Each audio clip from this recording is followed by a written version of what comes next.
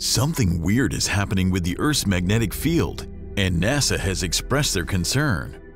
A vast region of lower magnetic intensity is stretching out between South America and Southwest Africa, leading to a strange dent in the Earth's magnetic field that's splitting and growing.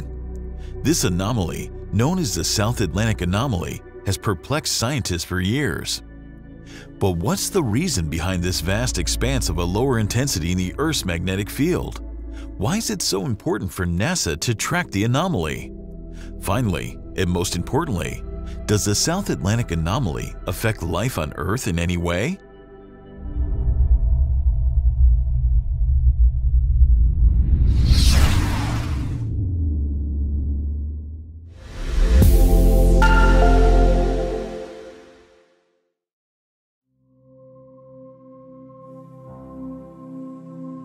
Earth's magnetic field acts as a protective shield, deflecting high-energy particles emitted by the Sun and fostering life on our planet.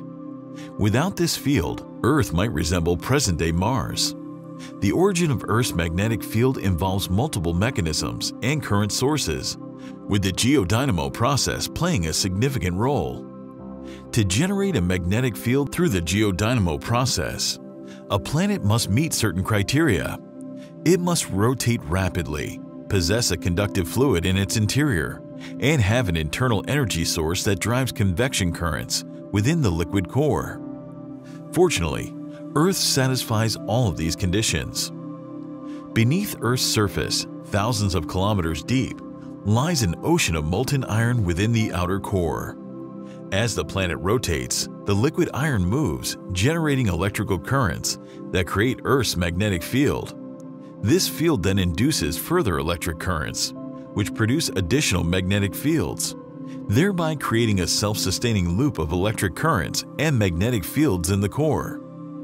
However, the magnetic field generated on Earth is not always uniform. About 2,900 kilometers below the African continent, there lies a huge reservoir of dense rock called the African Large Low Shear Velocity Province.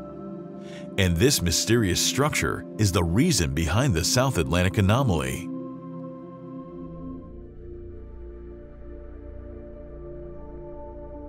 Large Low Shear Velocity Provinces, or LLSVPs, are massive structures deep within the Earth's mantle, which can span thousands of kilometers.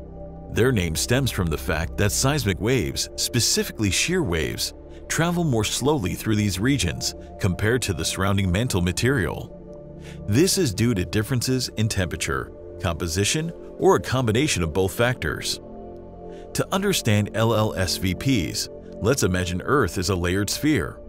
The core, located at the center, is surrounded by the mantle, which in turn is enveloped by the crust. The mantle is a vast region of hot, semi-solid rock that moves very slowly. Seismic waves generated by earthquakes or other events travel through these layers, providing scientists with valuable information about the Earth's interior. LLSVPs are found at the base of the mantle, near the boundary with the Earth's outer core. Two particularly large structures exist, one beneath Africa, known as the African LLSVP, and another beneath the Pacific Ocean, called the Pacific LLSVP. These structures are significant as they can affect the movement of material within the mantle, influencing processes such as mantle convection and plate tectonics. The African province is almost tens of millions of years old and extends around thousands of kilometers across with sharp boundaries. It is believed that since this dense structure lies in between the hot liquid iron of Earth's outer core and the stiffer, cooler mantle, it can somehow disturb the melted iron's motion that helps generate Earth's magnetic field. Eventually, these rocks can lead to a dramatic weakening effect in the field intensity. Moreover, the velocity of liquid iron in the outer core causes Earth's magnetic axis to tilt approximately 11 degrees relative to its rotational axis. Unlike the geographic poles, Earth's magnetic poles are not stationary and tend to shift over time.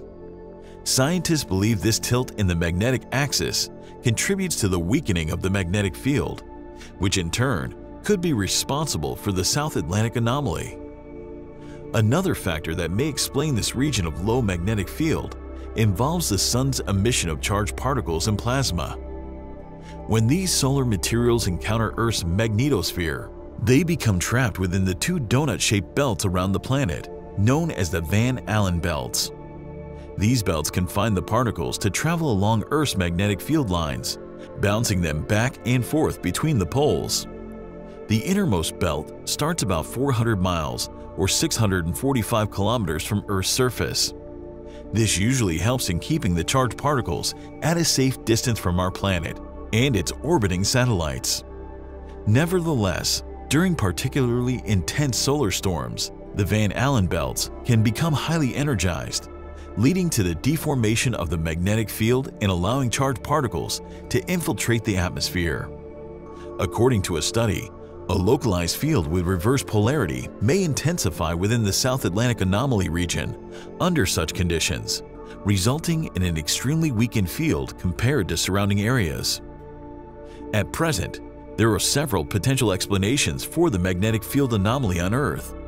However, many mysteries persist.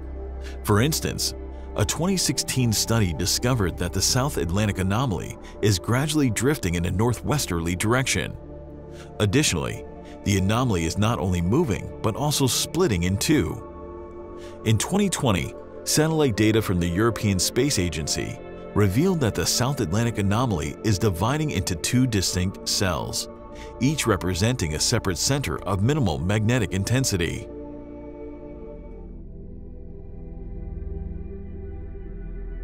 While the South Atlantic Anomaly, SAA, does not appear to significantly impact life on Earth, it poses a substantial challenge for satellites and spacecraft traversing the affected regions. Due to the weakened magnetic field in this area, these devices are more vulnerable to charged particles from the Sun than usual, potentially causing severe short circuits and malfunctions. The International Space Station also passes through the anomaly region. Although its interior and occupants are well protected, certain instruments mounted outside the ISS such as the Global Ecosystem Dynamics Investigation GEDI mission, can experience disruptions. For instance, the South Atlantic anomaly is known to cause notable interference with GEDI detectors. These occurrences can result in substantial data loss and permanent damage to crucial components, necessitating operators to routinely shut down spacecraft systems before entering the anomaly zone. Consequently, it is crucial to monitor the anomaly closely. The South Atlantic anomaly is not a recent development. Some studies suggest that it may be a reoccurring magnetic event that has affected Earth for approximately 11 million years.